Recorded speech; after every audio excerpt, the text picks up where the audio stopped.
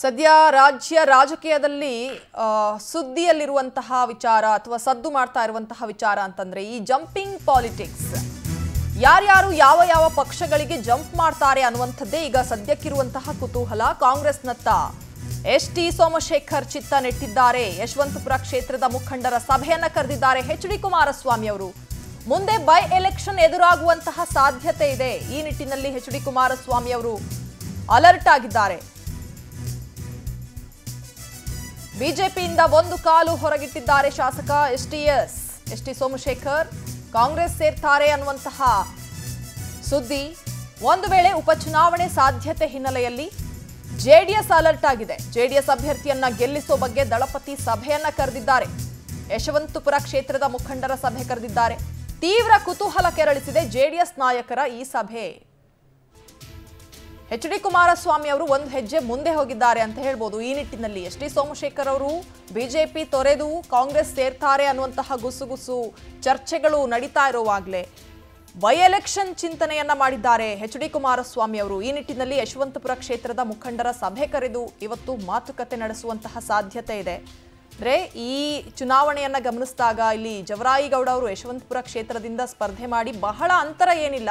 ಒಂದು ಹದಿನೈದು ಸಾವಿರ ಮತಗಳ ಅಂತರದಿಂದ ಸೋತಿದ್ರು. ಹಾಗಾಗಿ ಬೈ ಎಲೆಕ್ಷನ್ ಏನಾದರೂ ನಡೆದ್ರೆ ಅಲ್ಲಿ ತಮ್ಮ ಅಭ್ಯರ್ಥಿಯನ್ನ ಗೆಲ್ಲಿಸಬಹುದು. ಈ ನಿಟ್ಟಿನಲ್ಲಿ ಅವರು ಚಿಂತನೆಯನ್ನ ನಡೆಸಿದ್ದಾರೆ. ಹೆಚ್ಚಿನ ಡೀಟೇಲ್ಸ್ ಅನ್ನ ಪಡ್ಕೊಳ್ಳೋಣ. ನಮ್ಮ ಪ್ರತಿನಿಧಿ ಚಂದ್ರಶೇಖರ್ ಸಂಪರ್ಕದಲ್ಲಿದ್ದಾರೆ. ಚಂದ್ರಶೇಖರ್ ಇಲ್ಲಿ ಎಚ್ ಡಿ ಕುಮಾರಸ್ವಾಮಿ ಅವರು ಬಹಳ ಮುಂದಾಲೋಚನೆಯನ್ನ ಮಾಡಿದ್ದಾರೆ ಅಂತ ಅನ್ಬೋದು. ಎಸ್ ಟಿ ಸೋಮಶೇಖರ್ ಅವರು ಕಾಂಗ್ರೆಸ್ ಸೇರ್ತಾರೋ ಬಿಡ್ತಾರೋ ಅದು ಸೆಕೆಂಡ್ರಿ ಆದ್ರೆ ಬೈ ಎಲೆಕ್ಷನ್ ಲೆಕ್ಕಾಚಾರ ಹಾಕಿದ್ದಾರೆ ಎಚ್ ಡಿ ಕುಮಾರಸ್ವಾಮಿ ಅವರು ಅಂತ. ಈ ನಿಟ್ಟಿನಲ್ಲಿ ಇವತ್ತು ಸಭೆ ಕೂಡ ನಡೆಸ್ತಾರೆ ಅನ್ನುವಂಥದ್ದು ಹೆಚ್ಚಿನ ಅಪ್ಡೇಟ್ಸ್ ಈ ವಿಚಾರದಲ್ಲಿ ಏನ್ ಸಿಗುತ್ತೆ? ಈಗಾಗಲೇ ರಾಜ್ಯದಲ್ಲಿ ಒಂದಷ್ಟು ಬದಲಾವಣೆ ಆಗ್ತಾ ಇದೆ. ಅದು ಮುಂದಿನ ಲೋಕಸಭಾ ಚುನಾವಣೆ ಗಮನದಲ್ಲಿ ಇಟ್ಕೊಂಡು.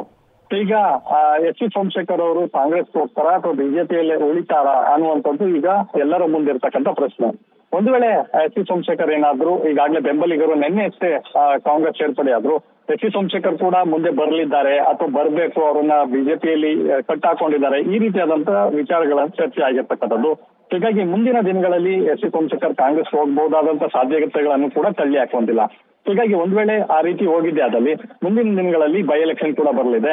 ಅದಕ್ಕೆ ದಳಪತಿಗಳು ಈಗಲೇ ಎಲ್ಲ ಒಂದು ರೀತಿಯಾದಂತಹ ಸಿದ್ಧತೆಯನ್ನ ಮಾಡ್ಕೊಳ್ತಾ ಇರ್ತಕ್ಕಂಥದ್ದು. ಇವತ್ತು, ಆ, ಸಭೆಯನ್ನ ಕರೆದಿರ್ತಕ್ಕಂಥದ್ದು ಯಶವಂತಪುರ ವಿಧಾನಸಭಾ ಕ್ಷೇತ್ರದ ಎಲ್ಲಾ ಮುಖಂಡರು ಮತ್ತು ಪದಾಧಿಕಾರಿಗಳನ್ನ. ತಾವರೆಕೆರೆಯ ಬಳಿ ಇರ್ತಕ್ಕಂಥ ಬೈಸ್ಕುಪ್ಪೆ ಬಳಿ ಒಂದು ಕಲ್ಯಾಣ ಮಂಟಪದಲ್ಲಿ ಸಭೆಯನ್ನ ಕರೆದಿರ್ತಕ್ಕಂಥದ್ದು. ಒಂದ್ ವೇಳೆ ಅನಿವಾರ್ಯವಾಗಿ ಚುನಾವಣೆ ಎದುರಾದ್ರೆ ನಮ್ಮ ಅಭ್ಯರ್ಥಿಯನ್ನ ಈ ಬಾರಿ ಗೆಲ್ಲಿಸಲೇಬೇಕು. ಸೊ ಇದಕ್ಕೆ ಯಾವ ರೀತಿ ಎಲ್ಲ ಸ್ಟ್ರಾಟಜಿಯನ್ನ ಮಾಡಬೇಕು ಮತ್ತು ಯಾವೆಲ್ಲ ಮಾನದಂಡವನ್ನ ಇರಬೇಕು ಅನ್ನುವಂಥದ್ದು. ಈಗಾಗಲೇ ಅನುಕಂಪದ ಆಧಾರದ ಮೇಲೆ ಸಾಕಷ್ಟು ಬಾರಿ ಚುನಾವಣೆಗೆ ನಿಂತು ಸೋತಿರೋದ್ರಿಂದ ಸೊ ಅವರನ್ನು ಯಾವ ರೀತಿ ನಿಲ್ಲಿಸಿ ಗೆಲ್ಲಿಸಬಹುದು ಅನ್ನುವಂಥ ವಿಚಾರಗಳು ಕೂಡ ಚರ್ಚೆಗೆ ಮುನ್ನೆಲೆಗೆ ಬರ್ತಕ್ಕಂಥದ್ದು. ಒಟ್ಟಾರೆಯಾಗಿ ನೋಡೋದಾದ್ರೆ, ಎಸ್ ಸಿ ಸೋಮಶೇಖರ್ ಅವ್ರನ್ನ ಈ ಬಾರಿ ಬೈ ಎಲೆಕ್ಷನ್ ಏನಾದ್ರು ಬಂದ್ರೆ ಅನಿವಾರ್ಯವಾಗಿ, ಸೊ, ಕಾಂಗ್ರೆಸ್ನಿಂದ ಏನಾದ್ರು ಸ್ಪರ್ಧೆ ಮಾಡಿದ್ರೆ ಅವರನ್ನ ಸೋಲಿಸಲೇಬೇಕು. ನಮ್ಮ ಅಭ್ಯರ್ಥಿ ಜವರಾಯೇಗೌಡನ ಗೆಲ್ಲಿಸಬೇಕು ಅಂತಕ್ಕಂಥ ಒಂದಷ್ಟು ಪ್ಲಾನ್ ಅನ್ನ ಈಗ ಮಾಡ್ಕೊಳ್ತಾ ಇರ್ತಕ್ಕಂಥದ್ದು ಬಹಳ ಸ್ಪಷ್ಟವಾಗ್ತಾ ಇರ್ತಕ್ಕಂಥದ್ದು.